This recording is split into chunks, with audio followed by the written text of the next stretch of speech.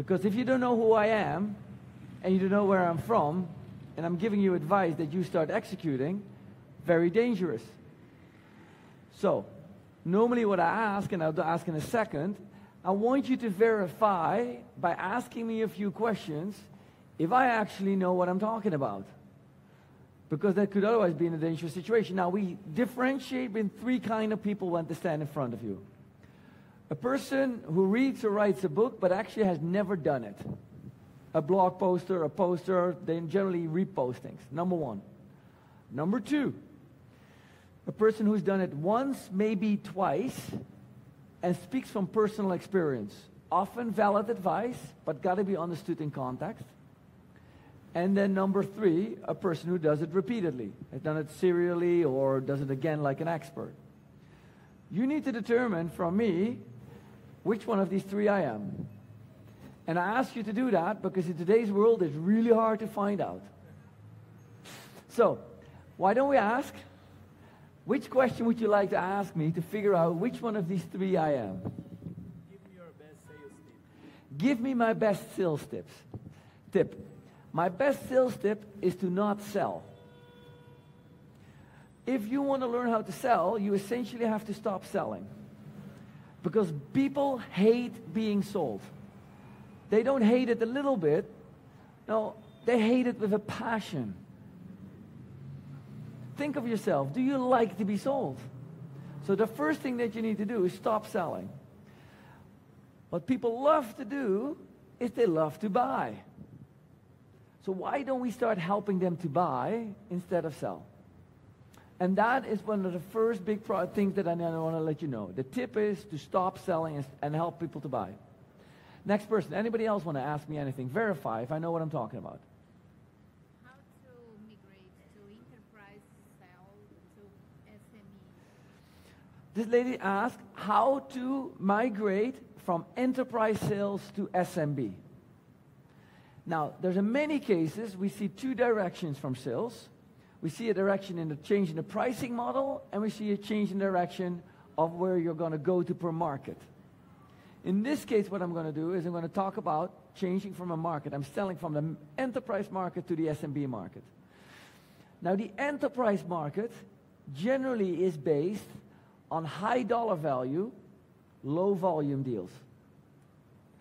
And the SMB market and generally is low dollar value, high uh, dollar, uh, sorry, low volume, high dollar value. It's reversed. What we see is radically different between enterprise sales and SMB sales. That enterprise sales is pretty much superstar slash people driven. You hire really good people that already know the market because they got to establish a relationship with these really good customers that you're looking for. Enterprise selling, big dollar value, 9 to 18 months often, 6 to 9 months in SaaS. These people need to be trained, and you hire people who already know the market and who have the network. On the SMB market, it is volume.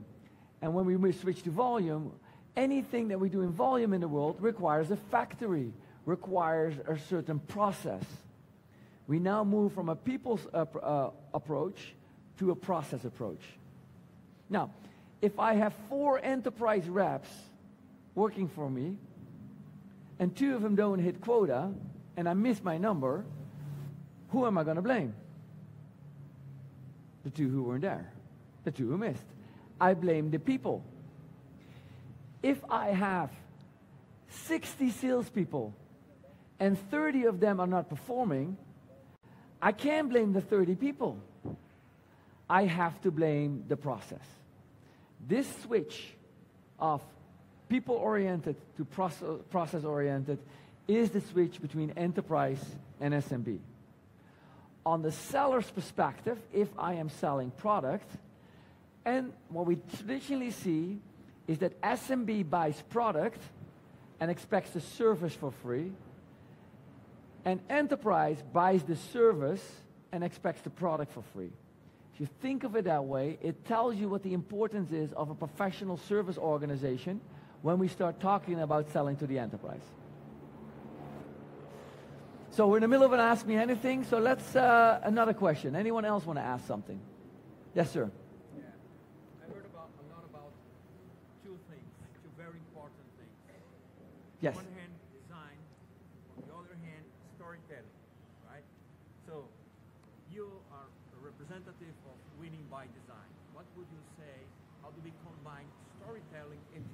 We have two things here. Question uh, again. Two things: design and storytelling. How do they correlate with each other? How does one resonate with the other? Yes or no?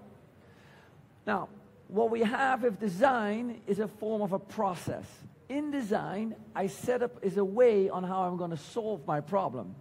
Whereas storytelling is a very specific action I am using during the execution of my process. One of the, ex- one of the parts of a sales process, somewhere along the line, I have to share a use case story. And when I share that use case story, I need to develop and deliver the skill of storytelling. Therefore, storytelling and design are not mutually exclusive. One fits within the other. Now, storytelling I can do in multiple places. At first, I can storytell about my vision, an activity I take, uh, that takes place early on. In the middle, I can have a storytelling about how my clients are using me. And towards the end, I can have a storytelling of the sales cycle. I can have a storytelling about the benefits and gains and why I picked a particular company. Three different stories that need to be told to the customer. We know that with customers, it doesn't resonate if you just give facts and figures. And that's why we need storytelling. Storytelling is a way on how I can help you remember something that otherwise you would not have as easily remembered. Okay? Great. You're most welcome. Last one up. Last question. Yes, sir.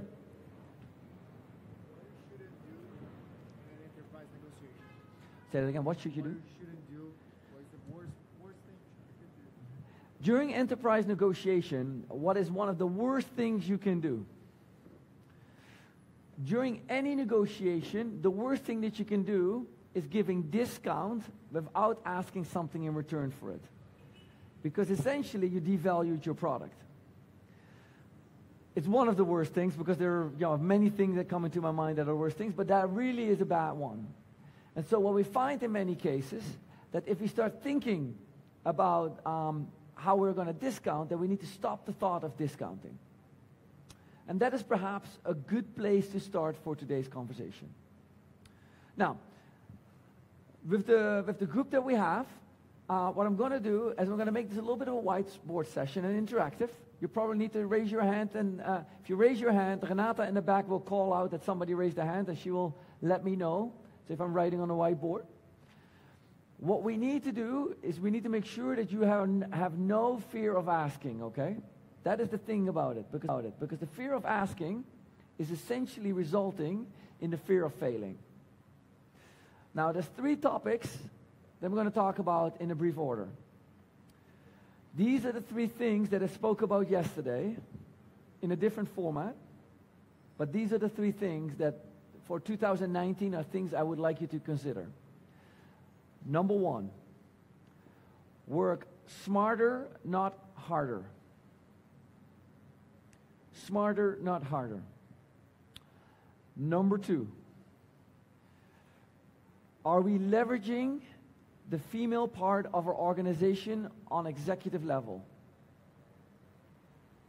And number three, are we really enabling our young generation to become successful? Three topics. These three topics, I'll give you examples of why and how we need to do certain things and what we can do with it as we move forward. First things first. I'm going to give you an example of work smarter, not harder. I've been raised in a generation, and my generation has been taught to work harder. If you want something, go get it, work harder. Therefore, if I was uh, told, you know, like, Jacco, you need to double your sales, I need to work twice as hard. I need to hire twice as many salespeople. I need to hire, get twice as many leads. I need to do everything twice as much, maybe double the price. But to double things overnight is really, really difficult. You cannot just double your price on the product and say, there you go, let's see. Let's see if we double our sales. That ain't going to work. You cannot just go to marketing and say, marketing, can you give me twice as many leads? Well, you're going to get twice as many leads, only the quality is going to be less different. So you're going to have a challenge with that. So how are we going to double? We need to think about it differently. Now, traditionally,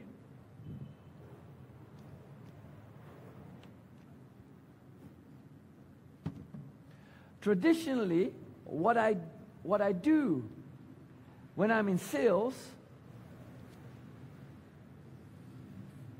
I add things up. I can say channels. Let's say I have a $10 million number. Doesn't matter. ARR, MRR, pineapples, it doesn't matter. Let's say I'm going to say pineapples. I'm going to get out of pineapples 4 million. I need to make this add up to 10. I'm going to have out of my direct team in the US, I'm going to have 2 million. LATAM, 3 million.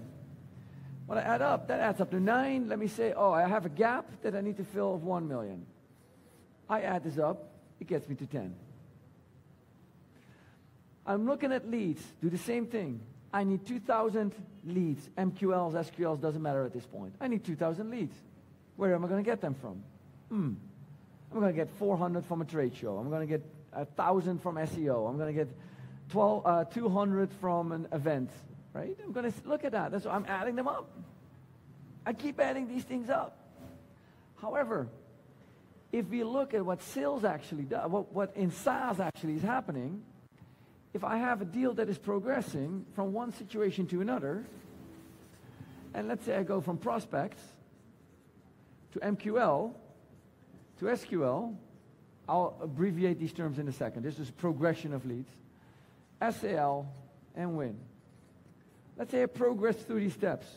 Prospects can be people in the phone book minus exclusions such as schools or something like that. MQL, marketing qualified lead.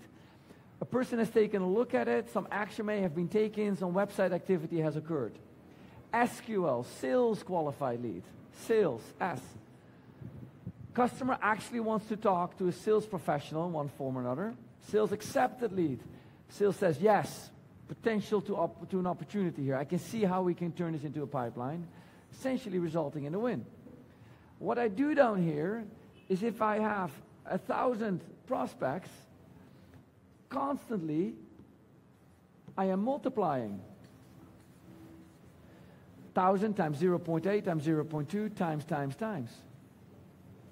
What SaaS is about is multiplying. It's not only about adding. It's a system. It's not an independent silo. Once you understand and you're going to give into that, what I can say, maybe doubling this to $2,000 is not, 2,000 leads is not realistic. But is it realistic to increase this 20% to 22%? Is it realistic to make this 30% 33% and this 40% 44%? That seems to be realistic instead of 20% 22. That is a lift of 10%. What we have found is if you make, if a 10% lift, a lift of 10%, 1.1 to the power of 7 equals 2x. The truth of SaaS doesn't lie and I need to do more of something. The truth of SaaS lies, am I optimizing my product efficiently that it goes increased by 10%? It is not about the capacity, it's about the efficiency of the engine. What most founders and early startups misunderstand is they design their company on a volume capacity-based model, and at the end, they run out at two, three, four, five, ten million dollars in revenue because the capacity-driven model, there simply ain't enough leads in the world, if you look in, in their universe, to keep supplying the system. And so they run out. With most customers that we deal with, in the B2B world, platform sales, they have 5,000 customers. It doesn't care what your TAM says. We work with Adobe, 5,000 customers. We work with Google, 5,000 customers for a particular market, particular product. That's it. And everybody says, no, there's 100,000 X and 100,000 Y. Yes, where are they? In which zip code? Do you have salespeople there? Do you speak the language? If you really look at it, it says, no, no, no. Okay, so really what we have left is, and it comes somewhere, you know, like at most 7, 8,000, but somewhere between 5 and 8,000. That's it. That's what most enterprise selling a platform focus on. Now, you do that by 10% improvement because I can't keep chopping at thousands of leads that sooner or later starts chopping down the machine. This is all about working smarter, not harder. Before I go on, any questions on this?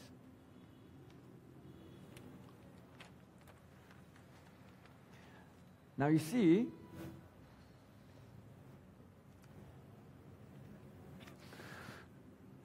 no, you know what I'm dealing, right? I'm like, oh, oh, oh, but I have something for this. So I'm like, yeah, yeah, yeah. Here's what I'm going to do. What I'm going to ask you to, in the next 30 to 60 seconds, look at the person to your left and the right. You got to talk with each other and come up as a group one or two questions that you're going to ask me. Talk to each other and come up with a question. You got 30 to 60 seconds. And then I'm going to come back to you and we're going to ask one more time. Ask me a question. Okay? Ready, set, go. 30, 60 seconds. Ask a question. You're talking about SaaS companies, right? Um, did you ever uh, work with uh, Did you ever work with uh, high touch uh, companies or enterprises? Sure. Yeah, tell me about your inside sales experience. Okay. That's my pain now. Great. Okay. What do you sell? What is, what is the price of your product? Um, I'm a fintech, B2B. Sure. Yeah, but what, what is the price of your product? Uh, I have no price. I, I'm, um, I'm a credit uh, fintech. Yeah. Okay, so you have a credit fintech. You run credit card transactions. yeah, Okay. something like that. And so when you run credit card transactions, how much do you make of a customer annually a year? Sorry? How much do you make of the customer? Um, A hundred dollars, ten dollars?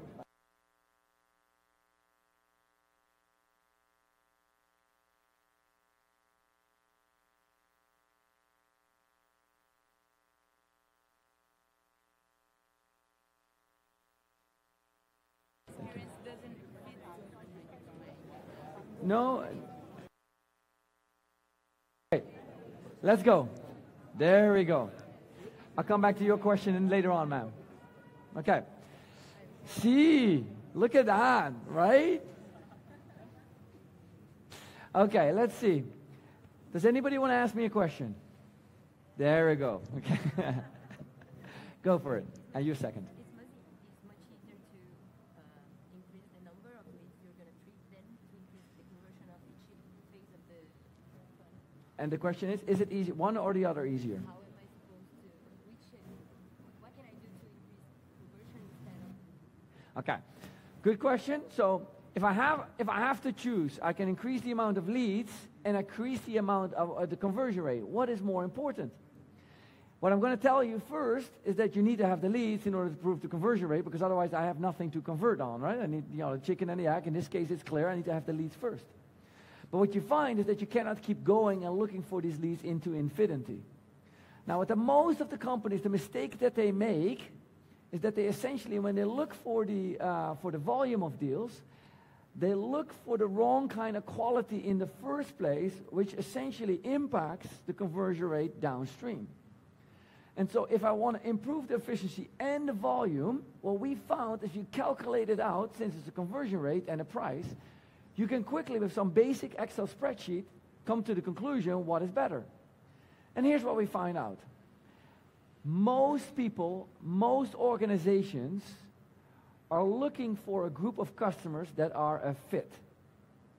And that fit in generally is something like, hey, look, it's this world, this circle, and this triangle. It's the title of a person, the size of the company, and, and this could be number of people, and it could be the dollar value or something like that. And so when they do that, and when they focus on that, they say, Jacco, I need, I need this piece down here. I need the overlap of the title, the, the size, and, and the, the amount of revenue that they have. Maybe public information, let's say that that's the case. And then they're going to call me up. And when they're going to call me up, they say, Jacco, I noticed that you are this person at that company. You have this amount of revenue and this amount of people. Did I get that right? Yes, you did. Why am I talking to you? I don't want to talk to you. Why am I talking to you? Why? You look me up because I was a fit. Combine this with volume based outbound, In other words, I'm going to talk thousands of people, and I quickly come to the conclusion that everybody that I'm targeting is a fit. What I'm using to make sure and they identify they have a pain is my inside sales organization. These people now have to start calling up the customer, overcome the objection, and do some groundwork on what the pain is. Well, using manual power can be very ineffective and inefficient. We know that it's not the right time. You call them up and say, like, oh, may I learn a few things more from you before I start selling to you? I don't know about you, but I don't find that a lot of people are very interested in doing that. You're not willing to just talk to wild stranger to tell them what your pains are. So what you should do in this case, you should first focus on what are the customers that actually have a pain and then go find new prospects that mimic that customer. Now, in this case, in many, in sometimes, in some cases, I give the example of a tire company. A tire company sells tires. So every car out there is a fit. Every car needs tires. It's a fit. How do I find the ones that have a pain? Now, in here, I would love to have the ones when I need to buy a new set of tires, I need companies that have worn, worn thread. The tires are worn. Now I can have manually somebody who walks the streets, yeah, that one has no thread. That one has no thread. That one has no thread. I can do that. Some cases, that's a very effective way. It's fine. If you can make it efficient in the dollars, that can be a really good opportunity if you sell into a small area. Or I can start working smarter. And so what you see, for example, if we were in the mountains, in this case, I can look at a car and say you have a ski rack on top of it, which indicates that you're going to go into the mountains. Because you're going to go into the mountains, when you stop by, I see that you have worn thread because you're looking for something. I can say, like, I noticed that your thread is worn. Are you headed to the mountains? Yes. I noticed that you have a kid seat in the back. Did I get that right? Yes, I got a kid seat in the back. So you have kids, you're going to the mountains. What I caution you is that your thread is too worn, and before you go next trip, buy a next set of tires. The customer has a pain. What we see that is a pure, innate lack of knowledge combined with laziness, and there's no excuse for it, it's pure laziness. Not lazy as in, oh, I'm lazy to do it. It's lazy to figure it out in many cases. Is you need to build, the first step to selling well is that your thought needs to be, I need to build the world's best database on prospects and which pain they have. And for that, I can use all kind of low-cost resources. The way we do that is, I go to a screen and I say to someone, to one of your salespeople, hey, how do you find out if this customer, in, I use a web interface right now, okay? I'm on a, on, a, on a web browser. You tell me, what do you look for in a, a customer to be a good fit? Oh, I go to the website. Okay, go to the website. Click on this, click on that, do this, check here, look for that. We record that in like a three, four, five minute video, then we go to a lower cost workshop. We say, can you put 10 people on this for the next two weeks? Here's 5,000 leads. Can you check out which pain they have? Fill out this column, repopulate the database with the updated information. Let us select from that which we're going to go after. And now my call is no longer, hi, I know that you're this size, this title, and this dollar. Now the performance is, I noticed on your website that you're indicating that you have this problem. Did I get that right? I have a different conversation. This is the, the idea of what has gone wrong and gone right. If I do this right up the front, I'm essentially adjusting my leads volume down, knowing that the conversion rate is going to go up. I know that because I'm already selecting it. Therefore, it is not necessarily that the volume of leads is the most important to me. It's the quality and the volume of the leads that comes first and foremost. And the best ones you can find are looking after your customers first. Okay, that's number. Uh, that's uh, next question. Sorry, next question. Oh, you're number two. I forgot. Yes, and I got you number three. The conversion, I imagine that it's better to work on the last part of the funnel than the beginning.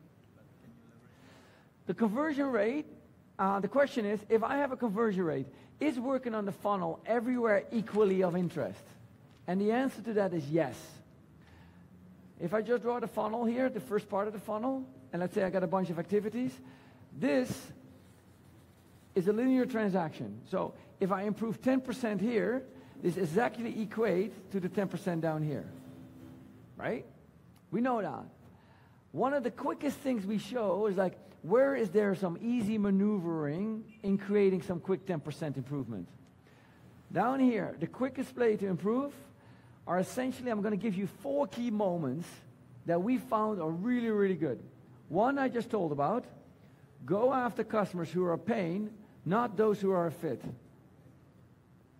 Number two, conversation, not qualification. Qualify is not the right thing. Number three, diagnose, not pitch. And number four, trade, not negotiate.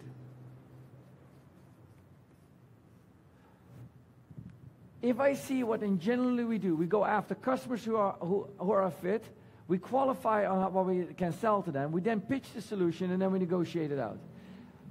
Like, most sales training is focused on that. And it's, these are all the wrong things. When I wa- started winning my deals, I actually never, ever, ever, a customer told me, like, Jacco, man, the reason I bought for you because your negotiation skills were really awesome. Like, I really liked your negotiation skills. That's why I bought from you. They don't say that. They don't say, like, when you pitched, oh my God, your pitch deck, slide four on your pitch deck blew me away. Like, maybe occasionally you get a clear, like, hey, your pitch was really cool. But across all your customers, you don't constantly hear that, you know, your pitch deck is great. What we have forgotten is we assist the sales process rather than, uh, assist the buy process rather than the sales process, that the first thing that we need to learn is how to have a conversation. Now, in this conversation, what it is about is about listening to customer and listening to what they're saying rather than you starting to talk. The conversation needs to be twofold.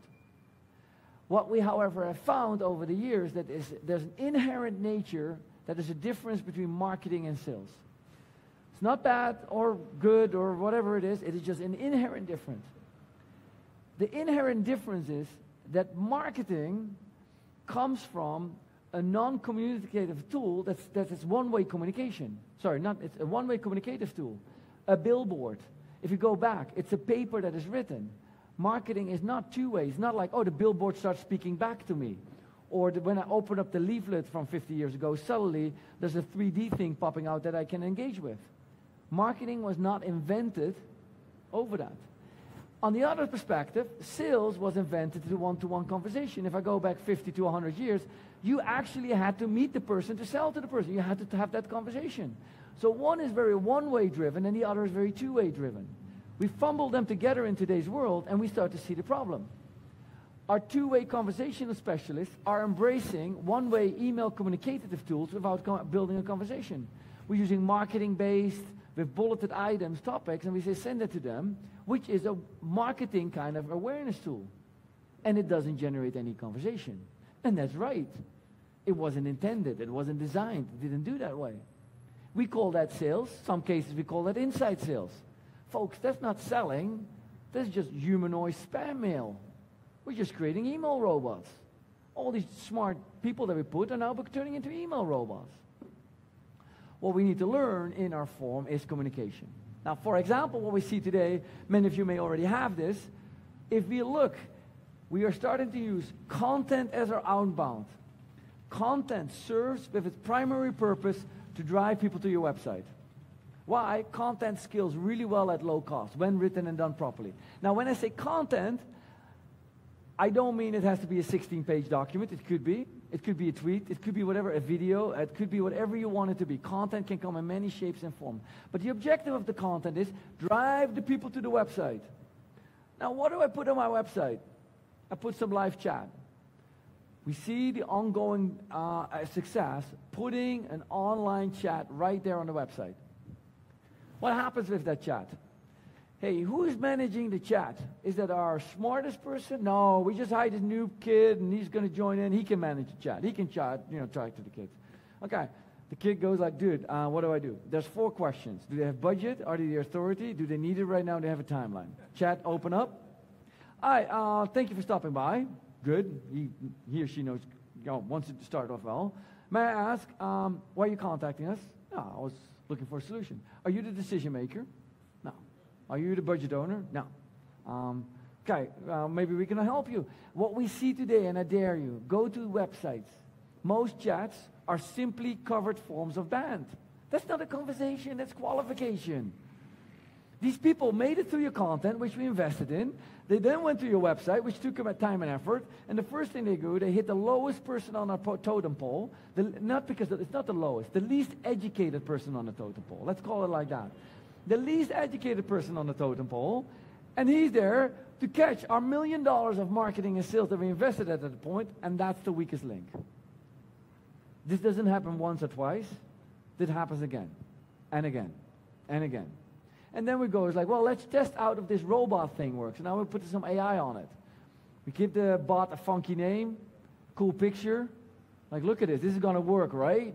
And then they stop doing it because nobody's responding with a funky named email robot that is asking them for an email address so they can send them some material. And it happens again and again and again. Now, what we find is that the scaling of that conversation is really good. So in this case, I would teach or we would recommend that you develop your SDRs, you develop conversational skill via chat. Here's a conversational skill. The person behind the chatbot enters a simple emoticon, smiley faced. Customer doesn't respond with an emoticon. He or she may try one more time an emoticon, a heart. Customer doesn't respond with an emoticon. Okay, people, clearly this Dudski is not interested in emoticon exchange. So let's stop and let's drop down on, on, on that form of the conversation, right? That is a form of conversation. I'm looking if the person mirrors my language. Not just tone and vibration. I'm also looking at emoticons, words. If the, if the person asks me and I say, like, what can I help with? You have to sit next to them. You have to role play with each other. You have to learn this. If not, this is not going to go work. Diagnose. Last one on this is trade and negotiate. Folks, I just want to let you know that your people, in general, your sales teams, are unable to negotiate. You can tell me all you want. Oh, they're in sales. They must be able to negotiate. None. It is very rare that we run into a sales team that actually we think that we come to the conclusion they can actually negotiate. Now, here's what you do in order to determine if, if a sales team can negotiate. At the end of the quarter, the month, whatever, it, whatever uh, you, you, you look at, you have, let's say, 10 deals, 20 deals, 100 deals. You look for percentage discount given.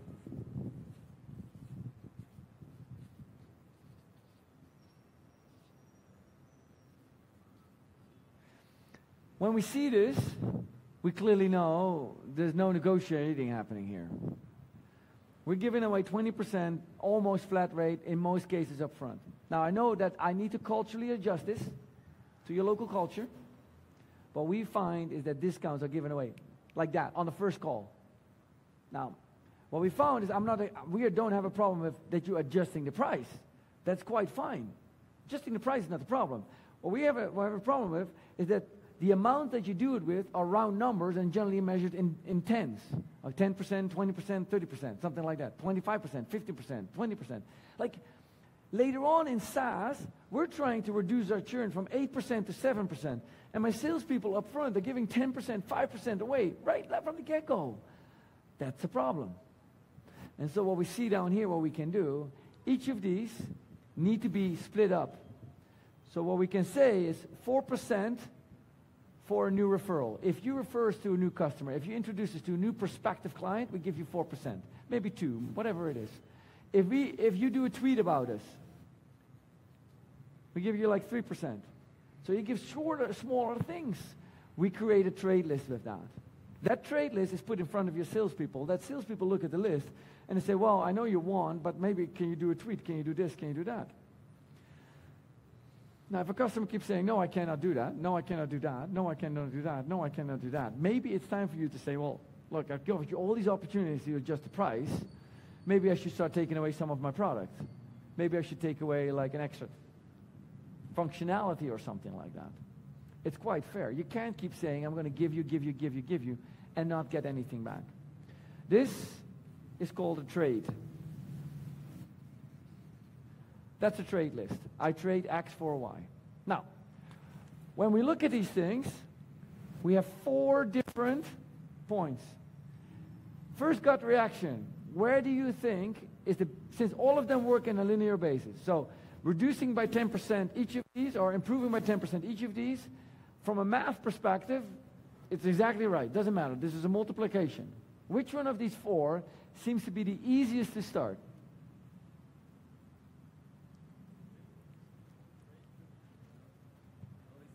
Discount. Now, that applies to your business. What I want all of you now to think to yourself, oh, he said discount. Is it discount? No, I do not know your business. I do not know if you give these discounts. Discount in this case is the right one because you see it. But I do not know for you. For him, it's the right thing. You got to learn to trust the math.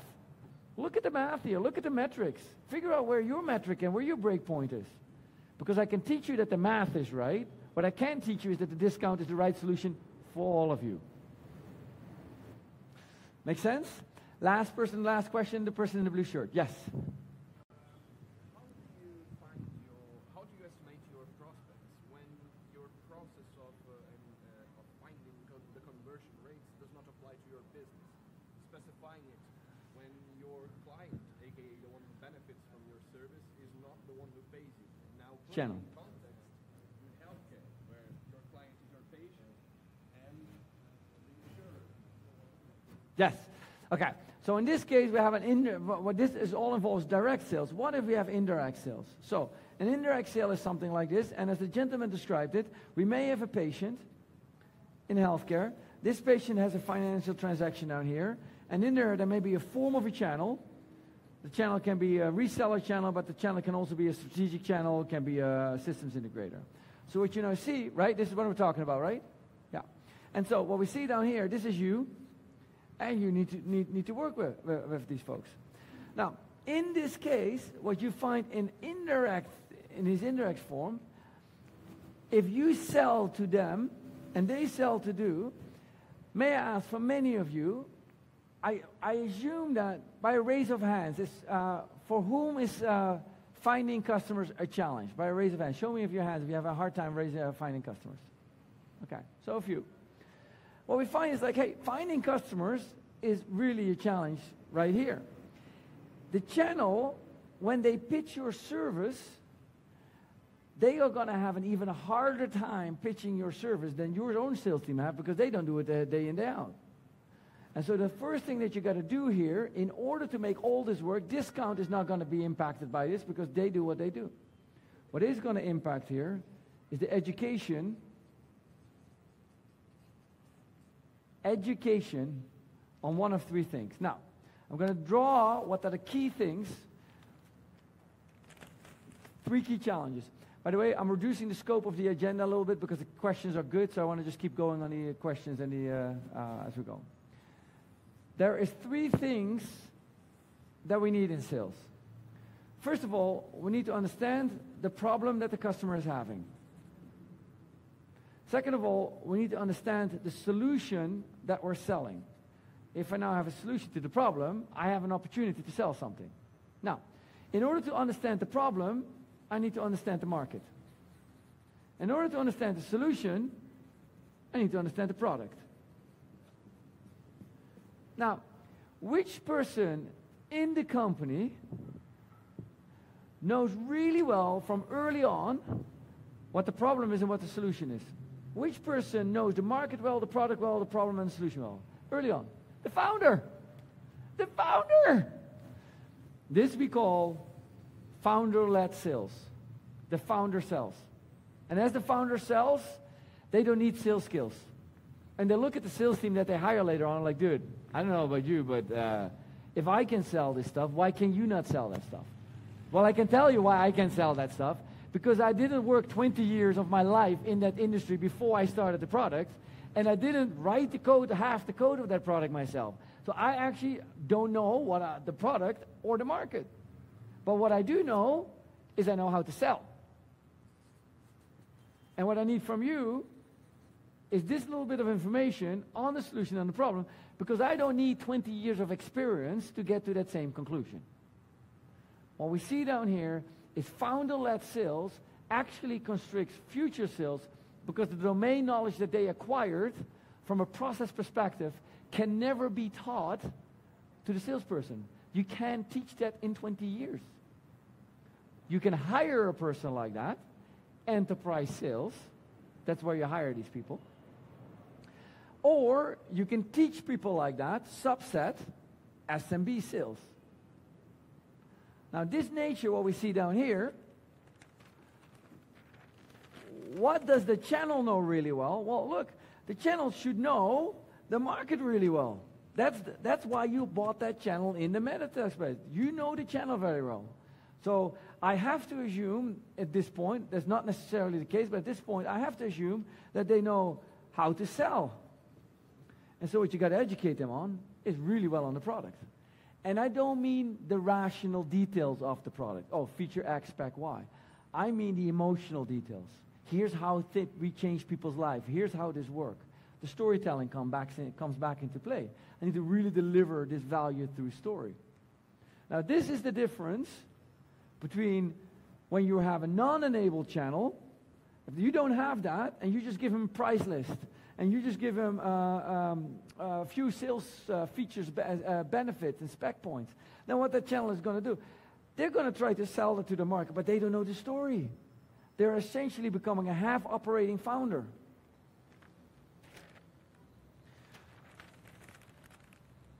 What we do in many cases, and what I give you a few practical examples with, is when you're in that phase of founder-led sales, how do heck do you get out of it? Because often it is founder-led sales, then it comes the first salesperson, gets rejected by the founder after six months because yeah, the dude can't sell, or after a year, like the dude can't sell, the Dudetsky cannot sell, doesn't know what they're talking about. I know. It's not that they can't sell, they just don't know this, right? So now what we need to do is we need to find how can we get the right people. Now, here's what you do. Essentially, when you're that person, when you're part of that organization, where you're the founder, you're the first led salesperson, you're the first uh, something like this, there's a very basic trick. And those of you in product design are going to love this because it's very so simple that you go like, ah, I can do this. I'll take a customer. And let me say that the customer is Cubo. Now, Cubo on the web has. No? Well, good, yeah. Okay, let me pick another one. I'm not taking Cubo. I'm me a customer name, so a large company. No, that's too large. I need a, a relevant customer. And in a second, you understand why. Give me a name of a local customer. Kahul. Or ah, whatever. Kahul. I make it up. Kahul. I don't even know how to read it. Kahul.com. Okay? Okay, so I write Kahul. Okay, now Kahul is my customer. I look up the website, and Kahul on the website has Kahul.com, right? I know that. Okay, now what I'm going to do, I'm going to go into my email server, and I'm going to do a root search in email. In other words, just do a Google search in email on Kahul.com. I'm going to enter that. This is going to give me a list, if you have closed that customer at that point in time, it's going to give me a list probably of 100 plus emails. That's all the stuff. And calendar invite, the whole stuff shows up, right? Why? Because most of your communication runs through your email box. What I'm going to go to, I'm going to go to the first 20. I want the first 20. Those first 20, I hang on the wall, I print out, including the calendar invites. I hang them on the wall. You may recognize this, for those who do a product design, you may ri- recognize this as a wireframe. Now, when I hang these 20 up, I start looking at it. Did they come inbound? Did we reach out to them? When did we have a meeting? What did we discuss in the meeting? Do I have my meeting notes still available? Oh, my meeting notes are still there. What did we talk about in the meeting? When the customer asked me for something in email, what did they ask for? When I sent the customer an, an attachment, which attachment did I send? Which document, which insight did I share?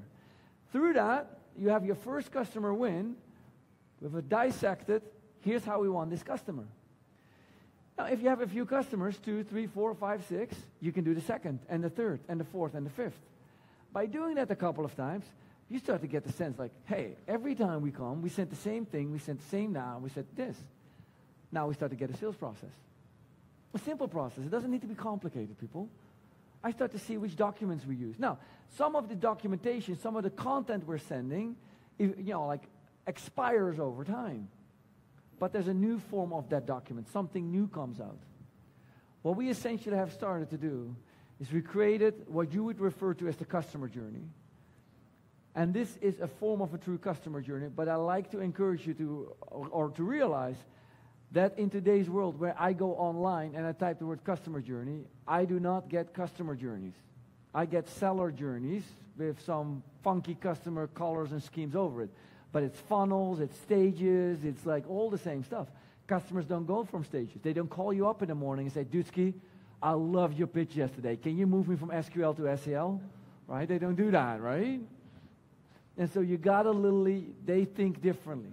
Okay, so that is an, an idea about how where this comes in. Okay, I'm gonna keep. Uh, what are we What are we looking like on time, Renata? How, how, how much? Till what time does this go?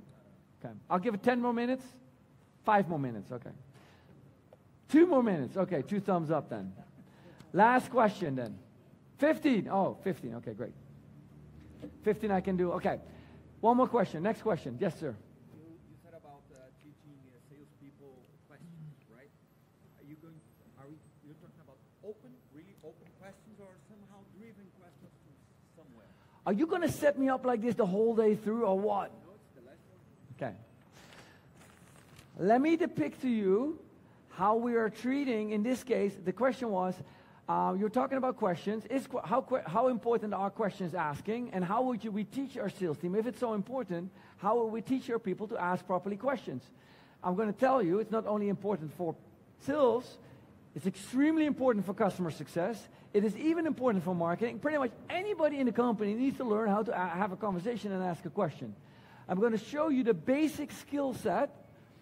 And I tell you, within the next five to 10 minutes, I'm going to show you what the difference is. You're going to be able to listen to calls. Now, there was a, what happened to me is I, at one point in time, I became a sailor. And I became a competitive sailor. We sailed, you know, like in the, in the Silicon Valley, in the Bay Area. And right before I went with my coach on the boat, he said, Jacco, after today, you will never look at wind the same way again. And that day, he taught me how sail ripples over, uh, how the wind ripples over water, different than it moves over the uh, feet above the water. And he showed me everything about how the wind works. In the next 10 minutes, I'm going to give you a TED session on what asking questions is about. With that, you probably can blow away 99% of all sales leaders in the world because they don't even under, they have never been taught this. Because what I'm about to teach you, there's no class that this teaches other than the Winning by Design class. Here goes. First things first, if I want to teach something to anyone, you need to think that visualization of that concept is no longer a nice to have. The entire younger generation of population wants you to visualize everything that you explain to them. It is an absolute must. Whiteboarding is not a nice to have thing, it's a requirement. What I'm going to do down here, I'm going to create, first and foremost, the difference between an open ended and a close ended question. A close ended question has two answers, which would be yes or no. Now I'm going to expand the close ended question slightly and say, what is your favorite color? Blue, yellow, green. That is also a close ended question. Okay, single word answers are, are close ended question. Make sense? Now, what I'm then going to do, I'm going to ask an open ended question. An open ended question and generally starts with why, how, it asks for the process behind what a customer did. Example that I want you to remember moving forward of the combination of a closed end and open ended is when I ask you, did you have a great weekend? What made the weekend so great? Well, congratulations, the gentleman moved here. And so the first question is, did you have a great weekend? Yes. What made it a great weekend? Now, the moment in time I ask him the open-ended question, he kind of like feels compelled to answer it because in the first place he already said that he had a great weekend. So he's not like, well, I'm not going to say anything more. I'm going to sit there. I'm not saying. I'm going to say nothing. Yes, one in a hundred, you have a jack, you know what, and they're going to go that route. Fine. The other 99 are just going to comply and say, oh, I had blah, blah, blah. Close-ended, open-ended. If you're in sales, you cannot just be good at it. You got to have this like your second, this has got to be your native tongue. This has got to be super, super, okay? Now, that's level. So we got open-ended and close-ended question. The second thing that I have, we have what we call situational questions, and later on we have pain questions. Situational questions constitute how many servers do you have? What are your current infrastructure? How many people do work for you? How much revenue do you have? These are all questions. They're often closed-ended, and they ask a particular thing. You can recognize them because if your salesperson is asking four, five, or six of them all at the same time, then people go like, dude, you're interrogating me. I give up. So you can't ask too many situational questions, generally two or three. Now, what you can do with, with situational questions, you can use your research. So instead of asking, how many people do you have working for you, or how many people work in this pizza place, you perhaps could have seen somewhere online that four people were on the pizza place. Or if the pizza place was hiring, you don't have to say, are you hiring? You can say, I noticed on the door that you are hiring. Did I get that right? Now I'm asking a close-ended situational question with knowledge. Remember earlier on I said we're going to do some research on your database? When that database is loaded with data, I actually can use that to ask close-ended, positive answered questions. Now, that is a situation question. A pain question often talks to you about the problem that you're having. Since you're running a pizza store, may I ask, are you happy with the increase in revenue per month? Since you're, since you're in the medical technology, may I ask, is the patient survival rate to your liking? As soon as I ask that, I poke on something. I start to, to pull on something. And the customer goes like, ow, I don't like that. That's a pain question. Now, a pain question you cannot ask too many of because people don't like to be like, ow, poke, ow, poke. You're like, stop poking me, right? So we can in generally ask two or three situational questions, then one pain question, or maybe two pain questions. What we see down here, on the left axis, I got how engaged in the customer. On the horizontal axis, I have time. What's just going to happen? I'm going to say, customer, going to ask situational question. May I ask how many you servers you have? Two. What, uh, which, are you currently on Amazon? Or blah, blah, blah. I'm on Amazon. Um, are you using Excel spreadsheets? Yes. Oh, so if I got it right, you know, like, and what, what are the pain what is the pain that you're having? Oh, I can't scale my financial reporting. So if I got it right, you have Excel spreadsheets, you're currently having not a cloud solution, and that's causing you that pain. Did I get that right? Yes. What we see is we summarize, in this case, we summarize our findings. You ask the questions, you summarize. At the end of the summarization, you ask, did I get that right? Yes. Folks, just doing this right now, tomorrow, will get you a little really advanced. Now, I'm going to I'm going to send you full cycle on this, okay? What is the number one thing that we do after this is, oh, I have a solution for that pain. I got something. And so what I'm going to do is I'm going to straight away pitch. I'm so excited. I got a solution for that. This is called solution selling. And what you see down here, this wave is a solution sales wave. It never really engages the customers fully. What you see here is 80% of all salespeople uses something like this methodology, and it is essentially your customers are not the better of it. Even heavily trained salespeople use this. Let me ask you what's the situation. You have this situation, oh, you caused that pain. Oh my gosh, we have a great solution for you. And here's the solution. Now, in order to break through for that, I have to go from this summary, I have to go up. Now, if I go up, I then ask simply, what kind of impact is this having on your business, this pain? As soon as I ask that, I'm up and I'm in the right domain. Okay? Now, there's a trick that we as salespeople know in order to how to induce that. That trick sits right here, for which we're going to use storytelling. This trick down here is as follows. So, if I got it right, you have 20 people submitting expense reports every month. You're currently using Excel spreadsheet to do that. What we notice is that 12%, you overcompensate and are overexpensing 12% and you're losing a lot of money on that. And as a result, you are having a negative impact on your growth. Summary, ask question, did I get that right?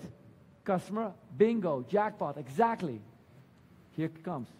Customer use case. You're not the first. I hear this all the time. Actually, it reminds me of customer use case XYZ storytelling inserted that ran this problem. The way how it impacted their business was ABC. May I ask, how does this impact your business? What we now have is we are making consultative selling the approach. This level-based, te- this way of visualizing question-based techniques requires something. I'm, I'm all the way up here in the right corner, okay? What I'm going to do right now is help you build this over the weekend, that you can do this yourself. I give your value prop. Your value prop while you built the product. Your value prop while you built the product was built to create this impact. You ask anybody in the company, may I ask what is your customer name? What is the customer? And they give you a logo, Coca-Cola, whatever it is. Logos don't buy. Really, I've noticed it. I find it amazing finding. Logos do not buy. Then they give me a title of a person. Oh, it was the VP of IT. Folks, roles don't buy. I need to know a name in order to figure this exercise out. Who bought a solution from us? Oh, it was Juan. Okay? What was Juan's pain that he described during uh, buying? We give an idea. Oh, that was pain X and pain Y. What questions did we ask to get to that pain? Then I say, what situation did Juan in, find himself in with? What I now get is I get all the things that I need to do here, here, here, and here to get me to the summary. I have Juan as a success story already. I have the impact that he had. All I need to do is which question did we ask? Turn it around. And I don't have a pitch, but I have a question-based diagnostic script. When we do this with 20 people in the room, and often they're like very experienced, I simply ask the most experienced person in the room to help me with this. Then I go like, hey, is there anybody who started here yesterday? And they go, like, oh yes, I'm sorry, right? I'm just I just came in new, right? Can you just ask these questions that we just figured out? Can you just run through that? Role play this out? And then we ask the rest of the group after that. What do you think? How did this sound? And everybody go like, wow. Yes. Process. Visualized. Step by step. That is how you get 10% improvement on the diagnostic part. This sees sales far more than just a gut feel that you can deal with. You know what? We're hiring people who've done it before. I don't need to hire people who've done it before. I need to hire people who are going to do it for me in the future. Because doing it 20 years ago in the old world ain't going to help me when I need it to be done right now. Because we're no longer a gut feel, big deal, superstar economy that uses the plus sign. We're a SaaS business that uses the multiplication, the science behind it, that runs as a process. Okay. With that, I'm going to give one, uh, one I'm going to give two key remarks, and then I'm going to, and we do this on this trip. I see right now on this trip, I see that in this case, uh, that men and women are pretty equally divided. We were previously this week at other locations where we saw that the workforce was equally divided, but that senior management roles were not equally divided. We have, I have raised my voice, as some of you who were there yesterday at, um, at Resultados Digitais, uh, I have starting to raise my voice. This is unacceptable. And it's for the following reason. Politically, go for it. Knock yourselves out of the park, whatever you want to do. It's not the point I'm trying to make. I'm a business person. if we are excluding 50% of the population to help us progress the business on an executive level, then we are shortcutting ourselves pretty quickly because we need the best of the best. I don't need the best men, I need the best women, I just need the best people. I don't care. But by the moment in time we exclude those, we are essentially putting our company right behind. What this creates is an incredible opportunity.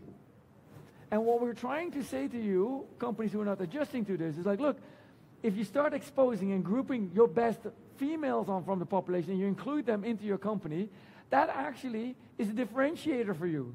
Because most of your buyers are not just men. They are joined. This you need to understand. So I'm glad that we take it on as a political topic. I'm totally, uh, you know, also enamored with that. That's not the reason I'm here. I'm only here to talk about the business element of it. Let's do the smart thing. That's number one. Number two, the number one problem that we are making and we're doing right now, we are forcing our younger generation, aka the millennials, and I don't like to use that word because in generally when we use the word millennials, the next thing that follows is a form of an insult or something that is a punch underneath the belly. So do not, I just try to call it younger generation. They're younger. What we're trying to teach them is volume-based, hard work, uh, work harder, not smarter. And it's the wrong thing to do. And I give you an example of how we, this morning with the, with the team at Resultados Digitais, a few simple things of what happened so you can understand. First things first. Managers train. Younger generation doesn't like to be trained, likes to be coached. Because if I train people, who's the person with the knowledge? Me, in generally the central point of authority. Therefore, what we do to engage millennials is the opposite. We start a conversation. Of course, I know the answer. I want to know what do you think the answer is? And then I'm not going to give you the, oh, that's great, you did it right, boom. I'm going to say, what do you think about the answer that he just gave? I think you should do this. And then I'm going to say, like, what do you think? I start a conversation. The best way to do that is through role play. So if I have this conversation and dialogue with two, and there's 15 people in the room joining, although him and I are role playing, the other 15 people are simultaneously learning from our role play. Now, this morning, as the, this team of Resultados Digitais is doing that, I have the, the, the CRO and the, and the founder of the company sitting in this group. There's 12 managers in there running this role play. Do you think that any of them, as we ask, pick another person to role play? Now you pick a person to role play. You pick. Nobody picked you, and nobody picked Guillermo. None of them. And as you asked me, what do you think I can improve? We go like, hmm. Well, clearly your team doesn't dare to ask you to participate in the role play. This, in generally, is a sign of a hierarchical organization. And believe me, you know, like, she's really good, right? So she go like, oh my God. Like, because they don't dare to ask you, you run a form of a hierarchical organization. Because if it's an egalitarian organization, it's flat, well, I am randomly picking people. So if I pick eight people and the group is 10, I clearly excluded the two executives. That's not an egalitarian. That's a hierarchical organization. They're afraid of it. This results in the following. Why doesn't the manager want to do this? Because in generally, they don't want to fail in front of their audience. And because of that, the younger generation goes like, dude, if you cannot do my job, and I can trust you that you can do yours, I'm not going to be really comfortable with that. And so I asked in this case, and you, there's no better person in the world for you to do this who embraced it wholeheartedly. I said, you, fail in front of your team. Role play with them. Don't punish, role play and fail. Because what we need to teach the younger generation is that failing is an excellent way to learn things. It is the absolute learning process. Now, I don't mean fail the process and throw the, the, you know, torpedo the entire building into the ground. Let's be reasonable about that.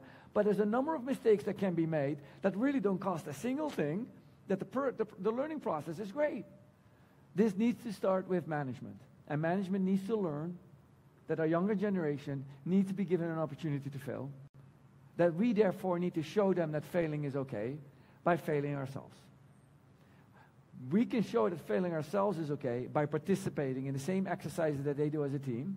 for which then they then in return will reward you with their respect, which by no means make any difference on a hierarchical perspective. They still think that you're the boss. They still think that you need to be treated with the proper respect and dignity. There has no change and impact on that. This is a way on how we need to start thinking about engage. This is just one of the ways how we need to start thinking and engaging our younger generation. Because what I see what they're doing is us, the older generation, have created the problem by working harder. And they need to challenge us by thinking smarter. With that, I'm going to give you, uh, I appreciate you guys folks coming forward today. Thank you very much for having me.